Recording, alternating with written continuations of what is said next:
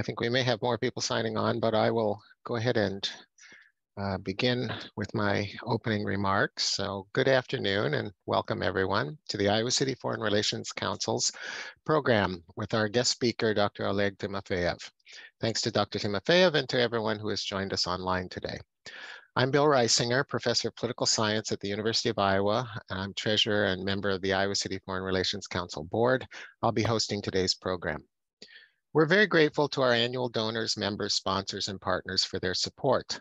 They include the Iowa Arts Council through the Iowa Department of Cultural Affairs, Humanities Iowa and the National Endowment for the Humanities, the University of Iowa's International Programs, Honors Program, and Public Policy Center, the Stanley UI Foundation Support Organization, Midwest One Bank, and City Channel 4, which provides online access to ICFRC's programs, along with the U of I Library Archives. ICFRC has adopted the Native American Land Acknowledgement prepared for the City of Iowa City's Ad Hoc Truth and Reconciliation Commission and Human Rights Commission. We recognize that our home community of Iowa City now occupies the homelands of Native American nations to whom we owe our commitment and dedication. The full text of our acknowledgement is on our website at icfrc.org. As we get started, please make sure you know where your video and audio mute and unmute buttons are. We ask you please to keep your audio and video turned off for the duration of the presentation so you do not interrupt the speaker. Following our speaker's presentation at about 1245, we will have a 15-minute Q&A.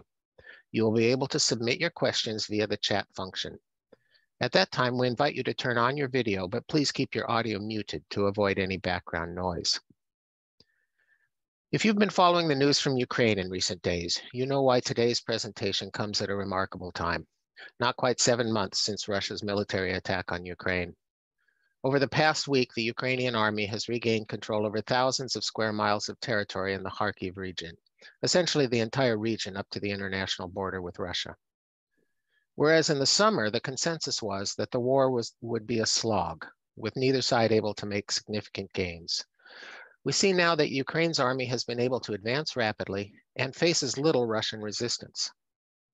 These de developments have already caused rumblings inside Russia, with angry arguments among pro Kremlin commentators on state TV channels, and even shockingly calls for President Putin's resignation being made in public forums, with most of those coming from militant supporters of the war. All this underlines what many thought at the time of the invasion. This is a strategic blunder for Russia, making them less secure than they were previously. NATO is closer, not farther away.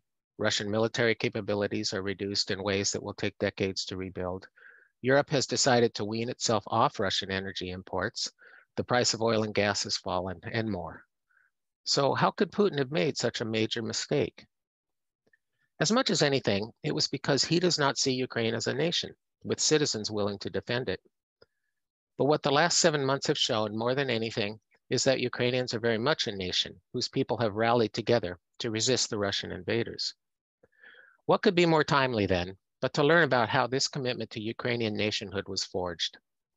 Dr. Oleg Timofeyev is eminently qualified to share his insights on why, as his title says, Ukraine is not a place in between, but a real place. He is a musicologist, guitarist, composer, and documentary film director. He holds an MA in early music performance from the University of Southern California and a PhD from Duke University. He is the world authority on the Russian seven string guitar tradition has recorded and released over 20 solo and ensemble albums to critical acclaim worldwide. His CDs, Music by Princesses at the Court of Catherine the Great, led to his receiving the Noah Greenberg Award from the American Musicological Society for outstanding contributions to historical performing practices. He has received two Fulbright Research and Teaching Fellowships, with the most recent one supporting him to spend 15 months in Kiev, his book on the history of the Russian guitar tradition will be published by Cambridge Scholars later this year. He has taught at universities and conservatories in the US, Russia, and Ukraine, including the University of Iowa, where he's an adjunct assistant professor. So please join me in welcoming Dr. Oleg Timofeyev. Well, hello, everybody. Good, good early afternoon, I suppose. Um, I'm wondering about what kind of authority on Ukraine I am, since I'm not a historian, not a political scientist. um, not a geographer. Uh, so basically what I am is just simply a person with some passion and some uh, interest. And, uh, um, you know, as Dr. Reisinger just mentioned, I spent uh, a year and a half in Ukraine and learned a lot, you know, because I originally am from Moscow. Uh, it was always in the back of my mind that my grandfather and grandmother were from Ukraine. From they were Jews from Kherson and Nikolaev, cities that we hear about all the time today. Uh, my grandmother, my grandfather was killed in the you know in the World War II. Uh, my grandmother uh, always spoke with certain warmth about Ukraine, even though there are such things as pogroms. And so many Jews who escaped at the time of pogroms to, to America, you know, sometimes think about, about Ukrainian and Cossacks very negatively, but, you know, there is much more to this story. Uh, and of course, while living in, uh, uh, in Ukraine, I realized that uh, how much of this imperial uh, garbage I already contained in myself, how much uh, the Soviet upbringing made me, made me kind of look at the world in a very imperial way. So, um, for example, uh, the word Ukraina for those who speak Slavic languages sounds like a Kraina or um, or periphery, and only eh, and that's the attitude of many Russians that it's something that out there. It's not it's not central. It's not important for the for our Moscow-centered Russian Federation. But um, uh, but uh, you know you you realize uh, you know once you start studying the subject that the word Ukraine actually it's true that it was the first um, way to call the country and it was um, etymologically connected to today's word Ukraine but it was the Poles. It was at the time of Rzeczpospolita that this, uh, you know, it wasn't the periphery of uh, of Russia. It was that of the Polish-Lithuanian Commonwealth. In any case, once I returned from my very revealing trips to Ukraine that really changed my world outlook, um, Dean Kurto suggested that I'll teach a course and uh, I asked my Ukrainian friends and got the advice to buy this book and use this book for uh, as a textbook. So I've been teaching you know, I taught with it several times. You can see that it's very substantial. It's by Paul Magocsi, what a person who probably is of Hungarian descent but lives in Canada.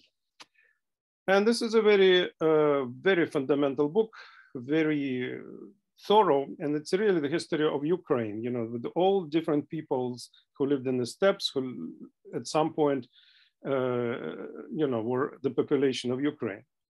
Uh, so that's uh, in many places it reads like a novel, but it's too big for uh, for a course for a semester, and definitely too complicated for instructor and uh, and the students who are not uh, historians, and definitely too too lengthy for today's meeting. So I will just kind of pointillistically bring out few aspects uh, of this uh, discourse that are particularly close to me.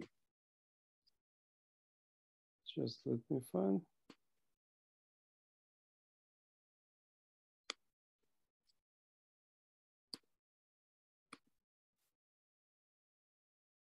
So this is my uh, is real. I have to say that I pretty much copied from uh, Timothy Snyder, who had a very similar um, very similar uh, presentation at the time of Maidan revolution.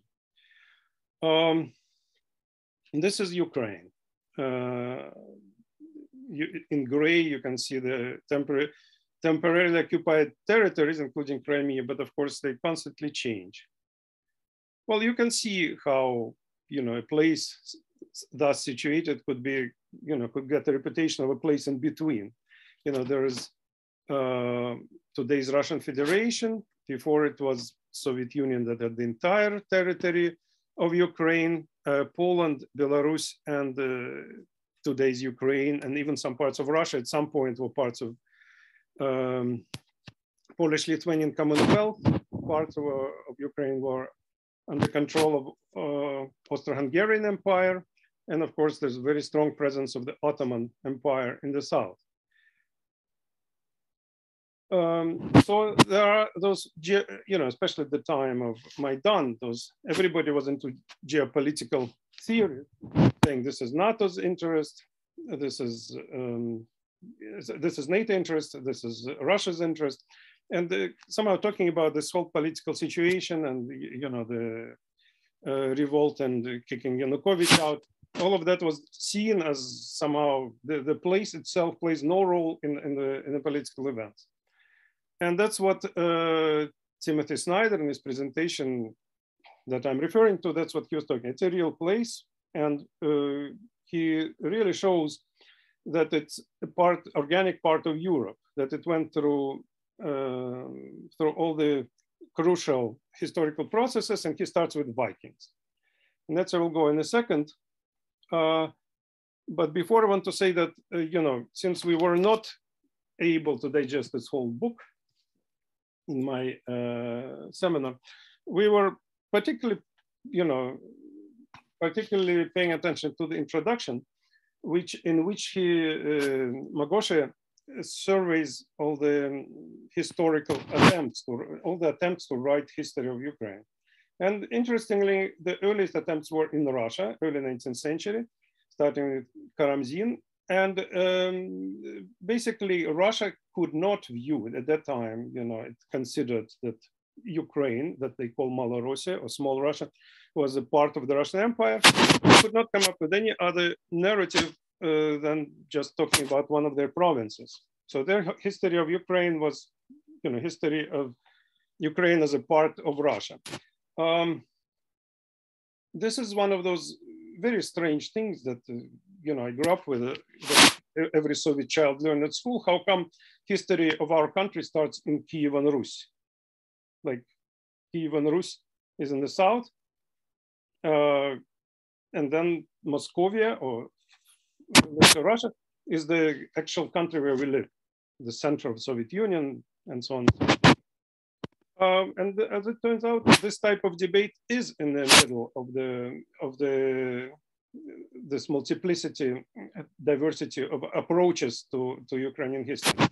So, um, so uh, according to the Russian narrative, all the population of Kiev after the 13th century uh, fall of the city to the Tatar Mongols, uh, the entire population went north and left, you know, territory of today's Ukraine completely depopulated. That was pretty much the argument of the Russian historian. Uh, historically, next was the Polish historian, Ukraine, who uh, heard something in Ukrainian.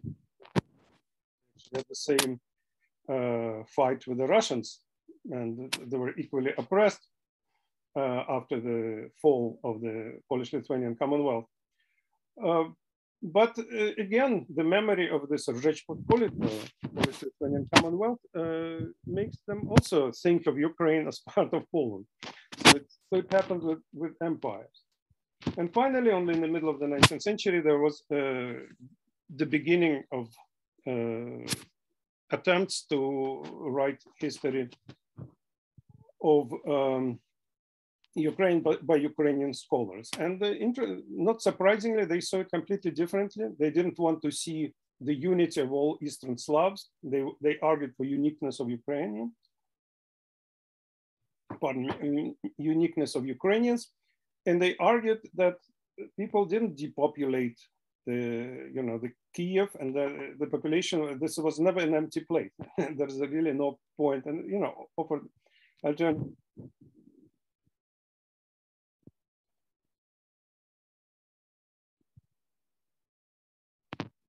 is my personal joke about Ukrainian language. You know, most Russians uh, will deny that such language, language exists because the, the, languages indeed are pretty close to one another. However, Russians don't understand Ukrainian. So uh, two problems with the language. First of all, there's no such language. Second, we don't really understand it. Um, it's interesting that there is the saying that language, a language is a dialect with an army. So due to today's successes, you know, the Ukrainian army became so strong that, I mean, it's hard to deny that this is a language, I think. So uh, let's start where Snyder started, but uh, I won't follow his route because it's much more focused on history and I'm much more interested in culture and especially musical culture. So the Vikings were there. There's no doubt about it. And even names of like the old Prince Oleg, which is my name, was actually the Viking name Helge and so on. So there's no doubt that the rulers at the time were of, um, of Viking origin. The question is exactly what their role was and how it was actually implemented. So what Magocsi writes, uh, both the Novgorod First Chronicle and the pri primary chronicle, Повесть uh, временных лет, relate the story of the invitation of the Varangians and in various places associate them with the Rus. Consequently, the Varangians are considered to have played a determining role in the establishment of Kievan Rus. Um, I mean, there are different words for Vikings. One word is Viking, the other word is Normans, and get it.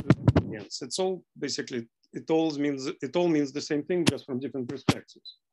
So um, the difference between Normanist and non-Normanist theories is not that they believe this, uh, whether this happened. They just want to argue how it happened. When I, the, whatever was written in those chronicles, basically the people who lived in, in Ukraine uh, they just couldn't rule themselves and they needed some external power. And so basically they addressed the Vikings, so come and rule. And others, not the non, you know, those are the Normanists. And the non-Normanists, especially popular in the um, uh, in the Soviet Union, you know, because for them, you know, since they considered the Rus the beginning of Russia, how come, how come we are, we cannot self-govern? How come we are you know, passive people. We need some external uh, rulers. So they were fiercely against it. Um, so basically, Vikings were like in the early Middle Ages, and it was so long ago that uh, we cannot really talk about Viking spirit present in today's soldiers.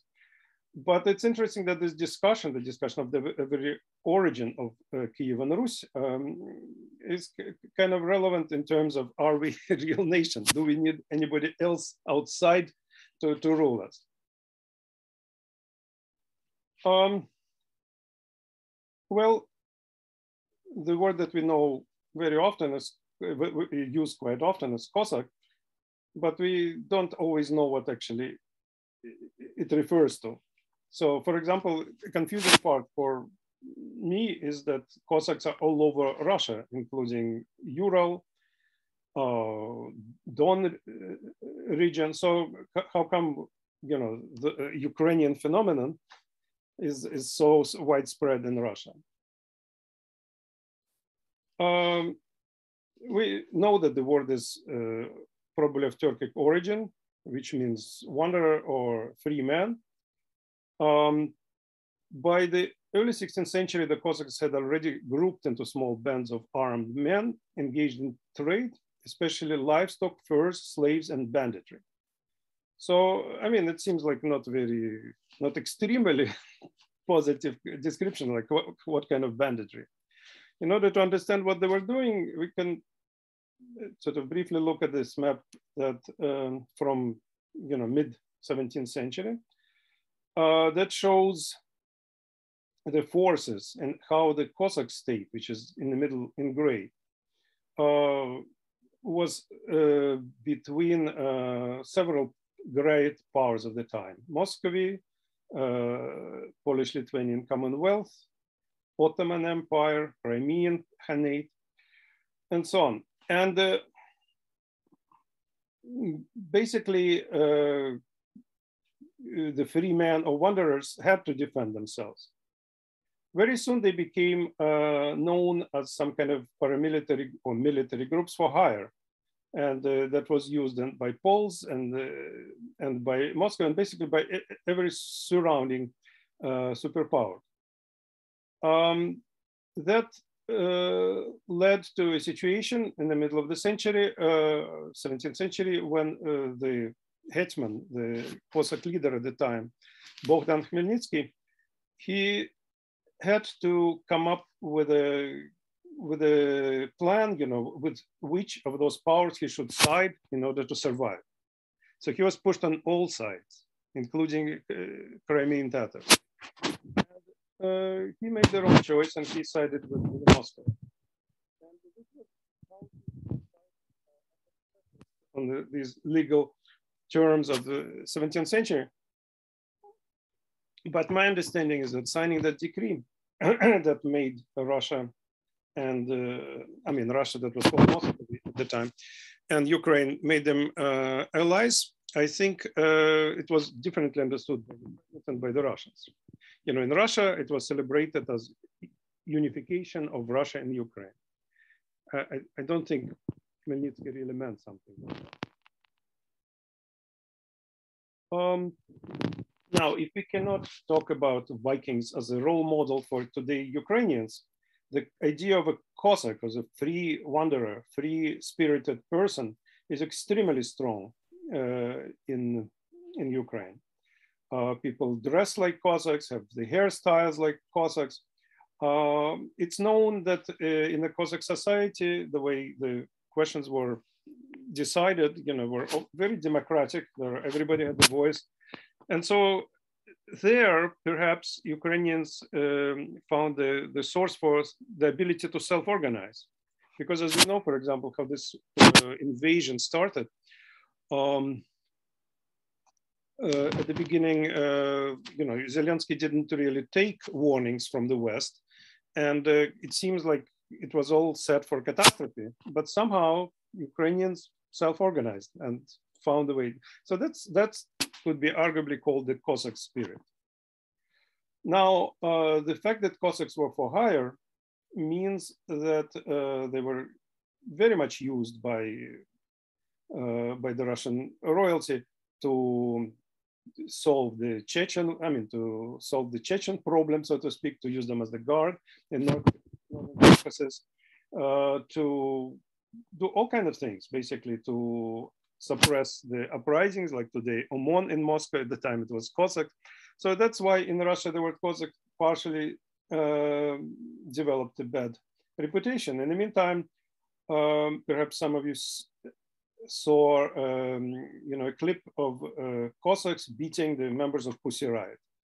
So those are paramilitary Russian organizations. They call themselves Cossacks, and they have nothing to do with the, with the you know, Ukrainian Cossacks uh, on the other side of the border. Uh, so very related to Cossacks. Um, is the epic tradition.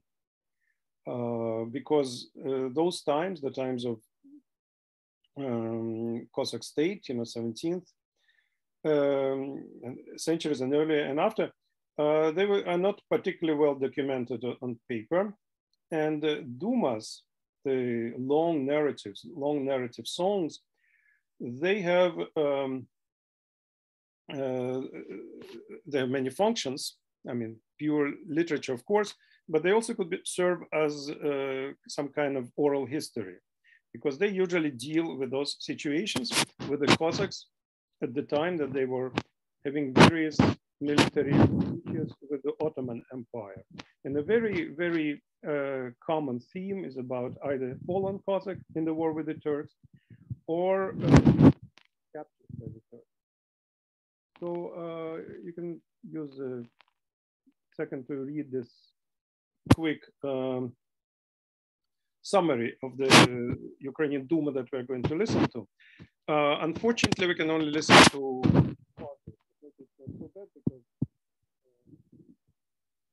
because uh, you know it's very long and in Ukrainian. But okay, I, I trust that you already read the summary, so I will stop sharing and start sharing differently.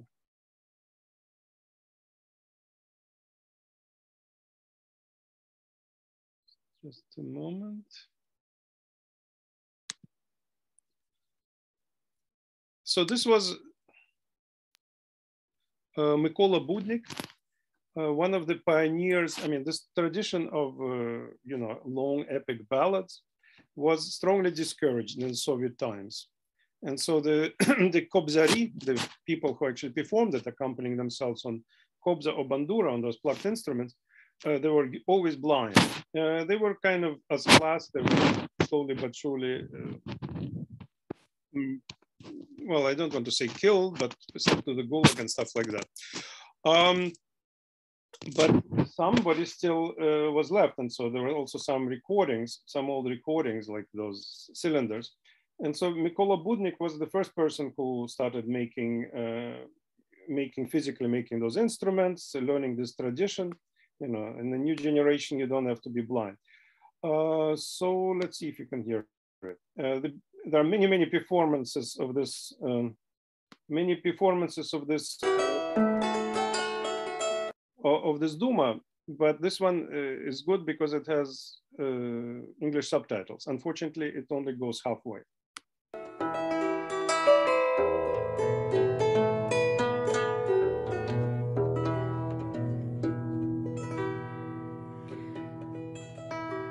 Ой, на чорному морі Да на камені біленькому.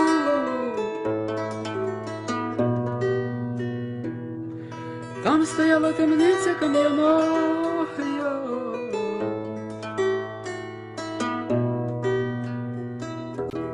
а в тій темниці сімсот козаків, бідних невольників пробувало на ній Божого світ.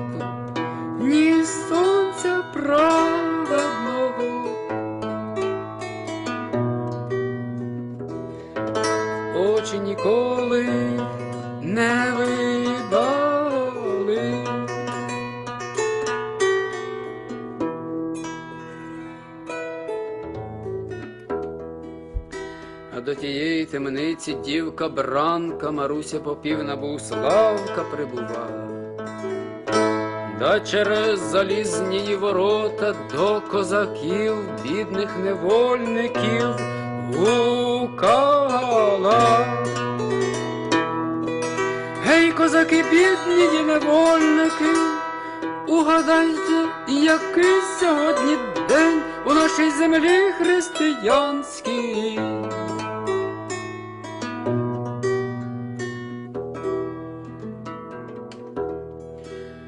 Козаки бідні невольники та є зачували дівку, бранку, Марусю, попівну, Богославку по голосу впізнавали та до неї словами промовляли.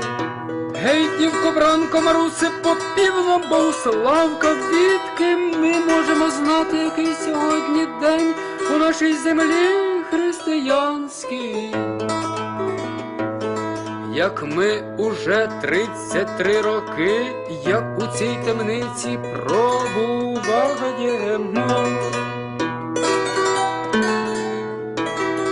Да Божого світу, ні сонця праведного очі ніколи не видаємо. Гей.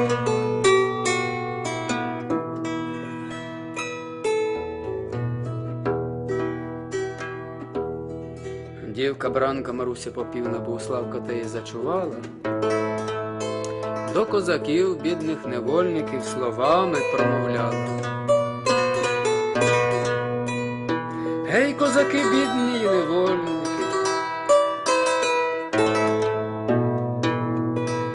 У нашій землі християнській сьогодні великодня субота, а завтра буде святий день, великий день.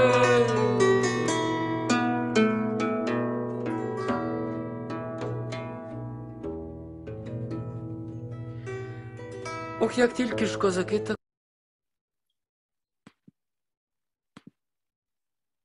Yeah, unfortunately, this ballad stops here and we can, oh,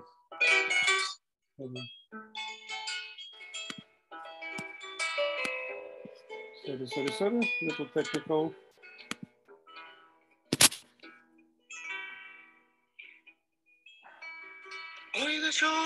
Just a second.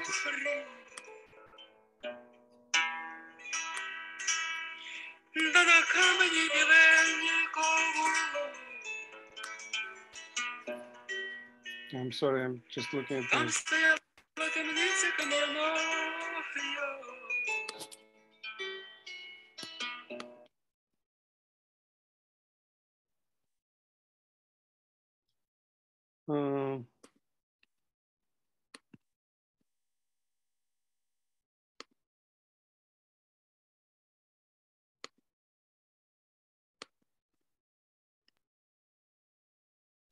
Okay, can you see my screen now?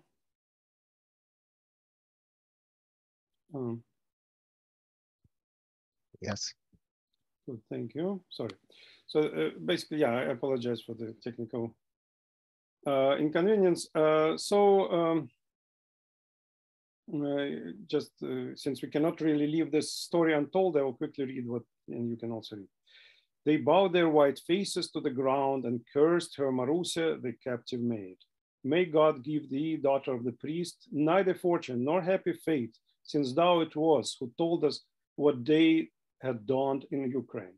Oi, Cossacks, ye unfortunate captives, swear not, curse me not. When our Turkish Pasha goes to the mosque, uh, then will I come to the dungeon and I will throw wide the door and release you all unfortunate. On the first day of Easter, when the Turkish Pasha went to the mosque, he gave the keys to the captive maid, Marusia Boguslavka, daughter of the priest. She came and freed the captives and said unto them, Oi, Cossacks, uh, I say unto you, do what is right, flee to the cities of Ukraine, but I entreat you, pass not by the town of Bohuslav. See my mother and father. Tell my father not to sell his herds, not to disperse his wealth, not to heap up more money, to free me from captivity, because I have become a Turkish woman, spoiled in need of Turkish comfort and happy pleasure. So this is uh, rather interesting. Uh, it is um, uh, I mean, clearly it is an, an, example of a heroic woman who, um, who does something extremely risky.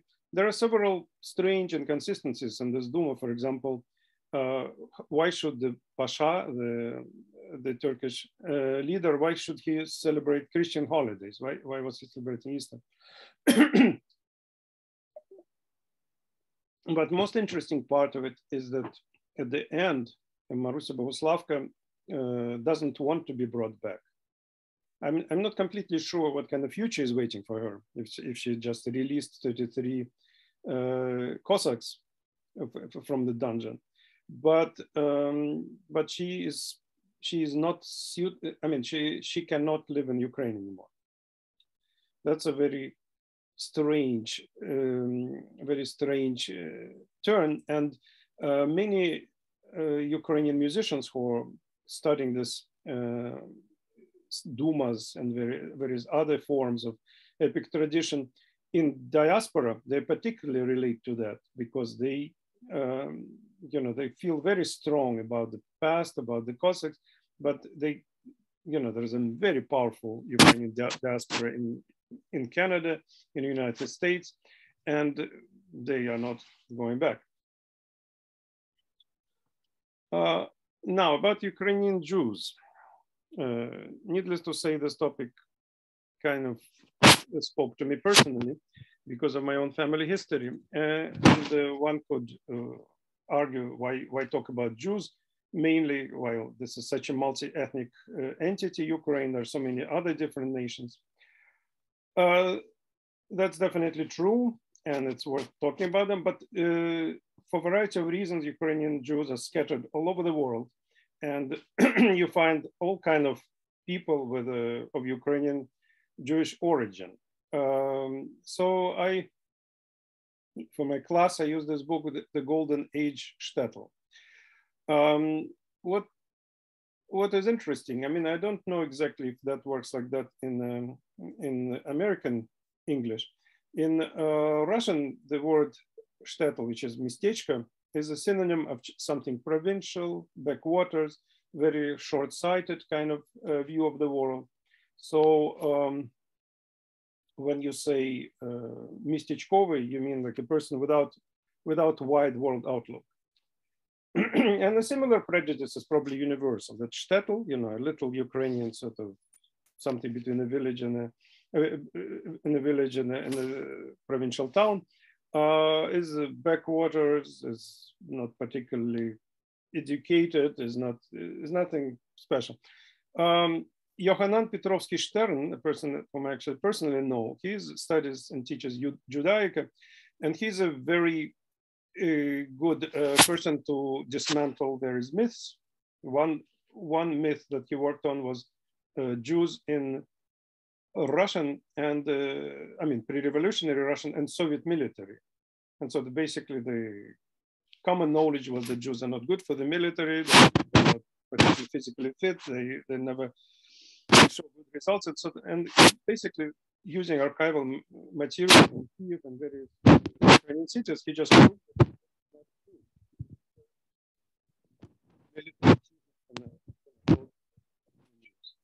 the golden age of shtetl is uh, very interesting because for me personally, it uh, sheds light on uh, kind of the beginning of the Jewish question in Russia. Because uh, in 1795, Polish-Lithuanian Commonwealth um, came to an end. That's what that was called the third partition. And that's why when Catherine's Russia, uh, Catherine the Great, uh, expanded and reached the area where in Poland, the, the, you know, the former Poland, now there were shtetls. And so basically the, one of the chapters um, in Petrovsky's book as uh, Russia discovers its shtetls. And I think uh, it would be called Russia discovers its Jews.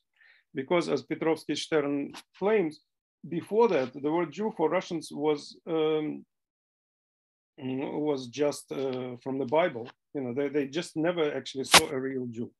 So when I, uh, throughout my, you know, high school and so on education, encountered massive anti-Semitism in, in Russian classic literature from Pushkin to Dostoevsky, uh, you know, now we should kind of re realize that for, for them, it was a really new problem, so to speak. They actually they didn't have this thing forever. Uh, it's relatively new. And uh, here's an example that, to, you know, I received this picture today. But I know. Uh, those must be citizens of, or visitors of Israel, you know, at the famous wall, uh, praying for the situation in Ukraine today. Uh, we all know that uh, you know, Russia accuses Ukrainians of uh, being the Nazis while their president is Jewish, and it's kind of doesn't really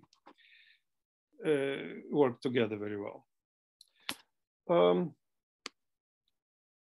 okay, uh, so uh, now I would like to quickly visit the issue that we call folklorism. Let me try just a second.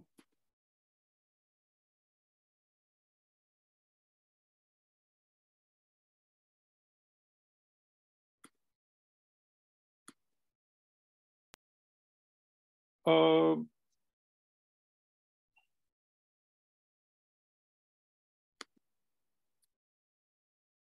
yeah, folklorism is a recent concept, and it doesn't mean it's an understanding that I'm used to. It doesn't mean simply anything to do with the folklore, but it's just the fact that in you know the means of expressing uh, Ukrainian identity are almost always through the folklore. As one of our heroes of the film that we made called Mri Promenula," uh, or Dreams About the Past, uh, one of the characters explains that uh, when the Ukrainian intelligentsia was kind of forging Ukrainian culture in the 19th century, uh, they didn't have uh, urban culture at all in their hands. There were different peoples who lived in Ukraine, Poles, in today's Ukraine, Poles, Jews, etc., who, who actually had access to urban culture. Uh, and therefore, the intelligentsia, the new intelligentsia of Ukraine, built the entire self-identification on various um, various, uh, you know, folk phenomena. So here is a little, uh, a little trailer that we made uh, for, for the film that I made. And that, even though this particular idea doesn't, is not expressed there, but in this three minutes, you will see some of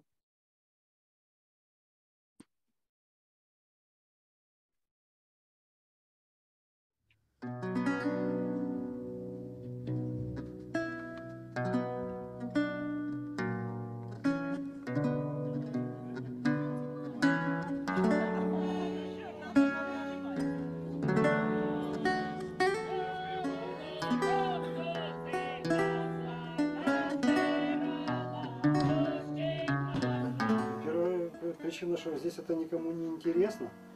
Во-вторых, не нужно. Що стосується музики західної, е, скажімо, е, барокової або середньовічної, це настільки чужий для нас пласт. Мы очень хотели инструменты, мы пытались что-то делать, э, но дело в том, что консерватория не имеет средств, они не покупает инструменты. Це реконструкція кобзи Остапа Вересая. Е, Тому що е, Лисенко в кінці 19 століття описав такий лютнеподібний інструмент. Вважається, что у нас единственная европейская страна, в которой сохранилась живая эпическая традиция. Тарасом була цікава дуже історія. Е, Викладачка, яка викладала е, середньовічний е, теорію, так би мовити, середньовічної поетики і музики, вона настільки була зачарована тим, що Тарас співає 125 куплетів на пам'ять, що вона сказала, він мусить приїхати сюди і розказати, як він це робить.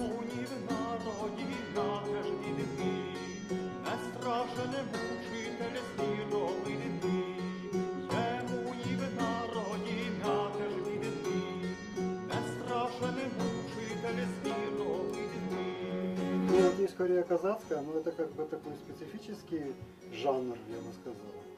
Ну да, как бы не вполне Ну, старинный. Уж нельзя сказать, что это старинная музыка. Это некоторые реконструкции там определенного пласта. периода, пласта культуры местной. вот.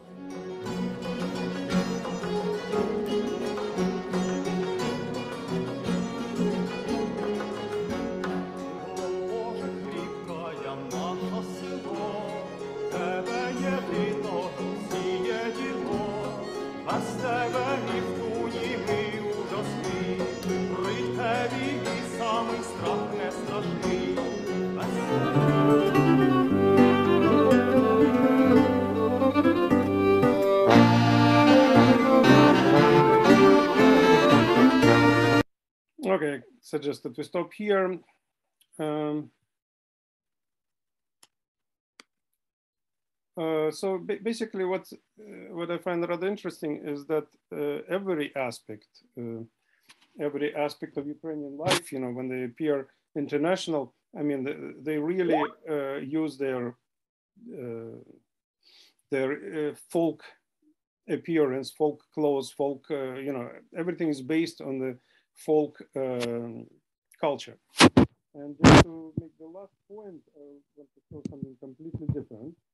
The song, I mean, I just hope that we won't listen forever to uh, to the advertising. This is basically a song that uh, was uh, originally created uh, still in the time of Bogdan Khmelnytsky in the 17th century. Uh, then it was uh, used by Ukrainian revolutionaries while they were suppressed by the Russians. Um, they, it was illegal to sing this song during the Soviet rule. It basically was, you know, the song of Ukrainian uprising. And uh, it became super uh, popular after the, you know, after the 20, uh, February 24th invasion.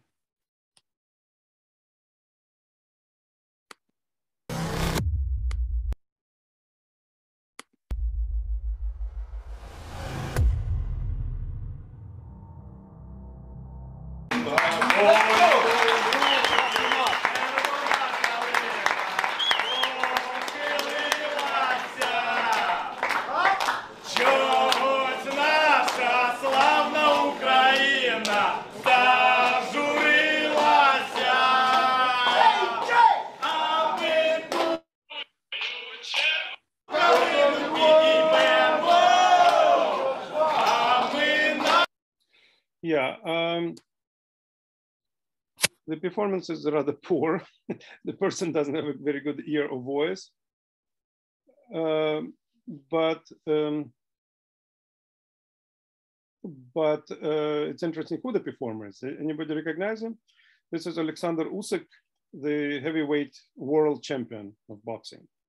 So uh, even his appearance, his you know his uh, hairstyle, his uh, shirt, all of that is based on Ukrainian folklore.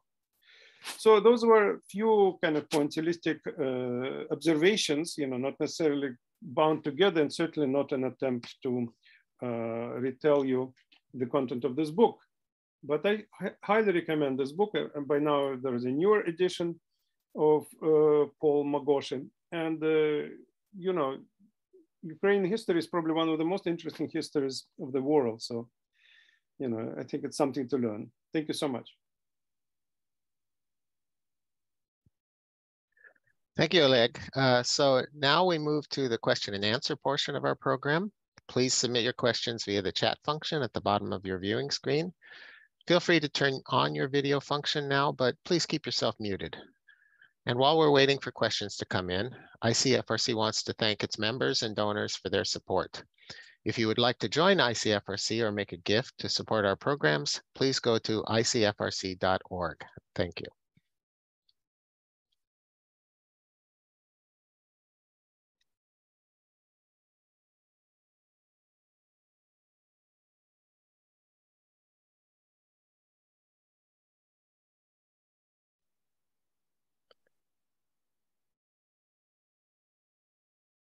Maybe while we're waiting for questions, Oleg, you can talk a little bit about uh, during your time in Kiev, um, issues of um, the Russian language and Ukrainian language, um, you know, what the what the ins and outs of that were that you observed.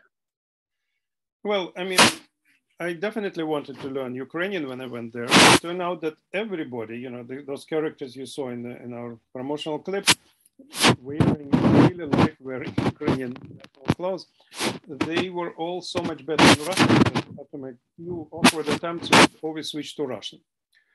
Um, I never experienced discrimination to the Russian speech. I mean, Kiev was pretty much a bilingual city with more Russian spoken. I mean, Lviv is a little different story. There, you know, mainly people speak Ukrainian, but everybody understands Russian, and uh, if you ask directions in Russian, and you know experiments were made uh, during the worst times of Maidan, uh, when people were asking directions and uh, in Russian, and uh, it was clear that they're from Russia, and they were very politely told where to go. So I saw a nicely bilingual country. The situation has changed a little bit, or maybe not so little because uh, now it becomes, you know, the Russian language became more and more associated with the uh, Russian propaganda, with the Russian TV. And so uh, indeed, you know, those who are uh, listening to Russian media are um, subjects, uh, most of the Russian propaganda. And th that sort of motivation for those channels to be closed, that uh, causes a bit of controversy because there is a large population um, of uh, Ukrainians for whom Russian is the native language and they don't even know Ukrainian. Again, it didn't happen like that uh, by itself as a result of many years of oppression. Um, in my class, last time I taught it, I brought uh, some of my friends who were arguing for switching to Ukrainian only, and a Kievan uh, Yuri Volodarsky, who's a rather well-known uh, literary critic, who actually works in Russian. And for him, language was not the matter like how to buy coffee, but it's basically his profession.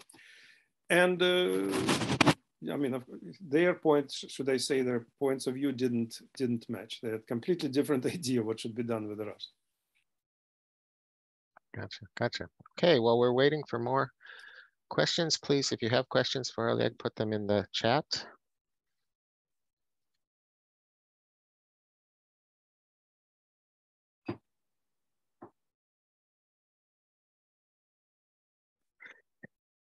So you've stayed in touch with uh, the people you worked with on the uh, on the musical projects. Um, how did things change after uh, 2014 with the annexation of Crimea and the uh, the war in, in Donbass area?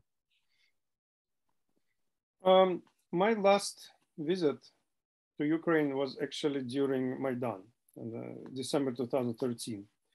I after that uh, I haven't gone there. And So uh, our relationship is as cordial as ever. Sometimes I see some of my friends in, uh, you know, abroad, you know, in, in Germany. Um, but um, I think their lives changed quite a bit during this time. Uh, just I wasn't there. Two of my friends died. One, uh, we actually just briefly saw them in the clip. One long-haired multi-instrumentalist. Uh, he actually was here in um, uh, in Iowa City. Actually, it's a, another story that uh, Professor Reisinger is the president of our nonprofit organizes festivals every year. In 2015, we decided to dedicate our festival to Ukraine, and so we brought several Ukrainian the composer and a very interesting musician, Danilo Percev. Unfortunately, um, unfortunately, he died of COVID. Was partly because of his own recklessness. And the woman violinist, Angela Zaitseva, uh, was murdered out of jealousy. Terrible story. Those two events happened like uh, very close to the Russian invasion, and sort of in our personal memory are like some sort of bad signs that led to catastrophe. Yeah. Uh, yes, we will have concerts. Actually, uh, we will have a festival at the beginning of November. Mr. President, that could be news for you, but basically we will have a we will have concerts and they will be dedicated to Ukraine. And we will, I'm not sure we'll be able to bring Ukrainian musicians this time, the way we did in 2015.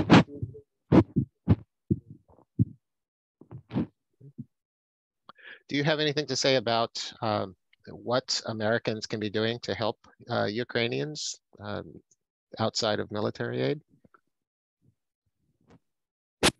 I mean, I don't have any special arrangement with Magocsi, but I think to learn more about Ukrainian history would be a nice start, just to, to know more about how much uh, Ukrainians suffered from the Muscovy or from, from, the, from the Russian czars and, and from this, you know, from the Soviets.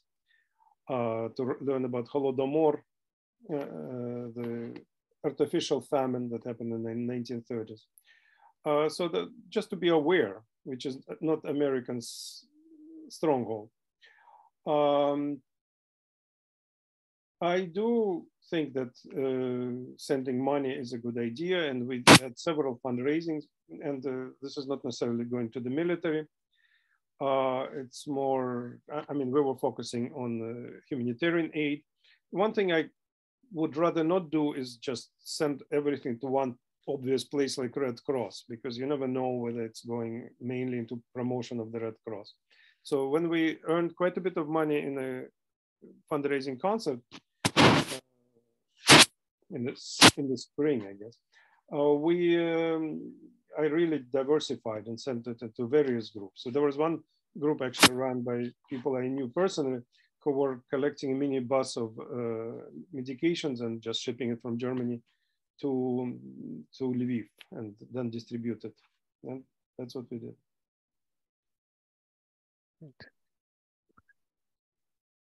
Uh, the, the, person who played baroque flute. Uh, well, if if we, if that was a bearded person, most likely it was me uh, ten years ago. Lute or flute? Oh, flute. Oh, flute.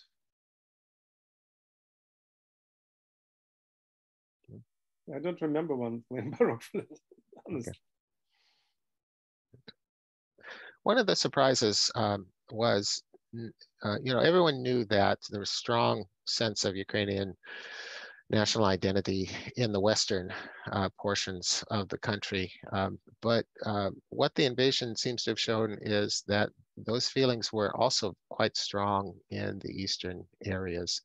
Um, and, and I wonder if um, you, you got to um, the eastern portion of Ukraine while you were staying there, whether you had any sense of that kind of geographic um, changes?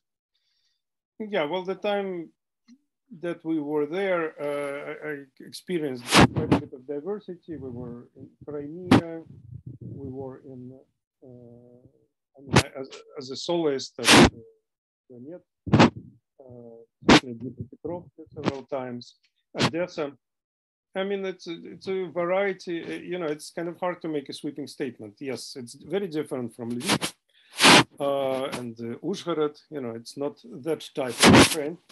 Uh, but it is, um, you know, it's not the same, say in Dnipropetrovsk or in Odessa. People have, and they, you know, so there are very different, many different types. Um, you know, like my, the person from Kharkiv who right now is defending uh, his country with machine gun. Uh, he usually is the film filmmaker and uh, video documentalist who comes to our festivals every year, Dmitry Lavrinenko. And he summarizes his relationship, uh, something, I mean, he's a Russian speaking Ukrainian. And he says, we are uh, Russian speaking, but we will kill for our Ukrainian language. So in those who do, you know, who are against our language. So uh, there are many different ways of being a patriot, I would say. In Odessa, for example, which is completely Russian-speaking city, uh, you have multiplicity of uh, various ethnic groups, you know, Greeks, Jews, of course, Armenians, etc. Uh, are Russian domination? Not to say that there are you know, the, they're the only one. No, there are always those who, first of all, listen to Russian propaganda. So a friend of mine told me that they were in Severodonetsk.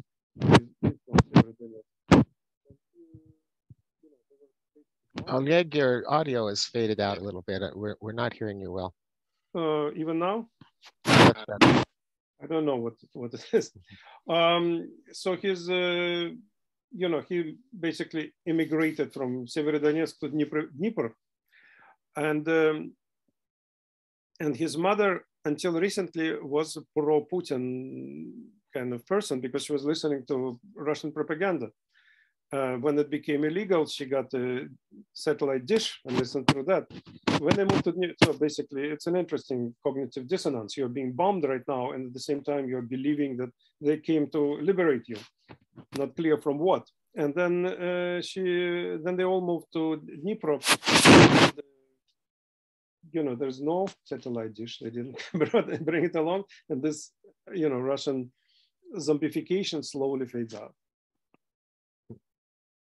Very interesting.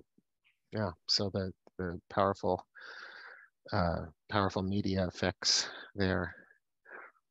All right. Do we are, do we have any other further questions? All right. If there are not, then we'll conclude our program. Uh, thanks very much to Dr. Oleg Timofeyev for his excellent presentation and for sharing his expertise expertise with us today. Uh, Oleg, I'm going to uh, virtually present you with ICFRC's highly coveted mug uh, for coffee, tea, or the beverage of your choice, and we will coordinate delivery details with you very soon. Uh, our next program is on Tuesday, September 20th, uh, also at noon via Zoom. Uh, it will feature Dr. Robert Asadi, who will speak about post-revolutionary Iran. So thank you everyone for joining us today. We are adjourned.